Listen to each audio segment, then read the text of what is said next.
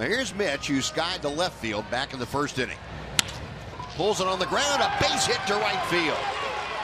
DeShields is in. Choo stops at second. Mitch Moreland with the RBI single, and the Rangers have a 2 to 1 lead.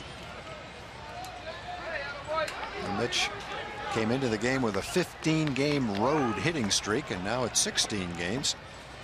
He continues to do very well against the A's. 23 runs driven in now for Mitch Moreland.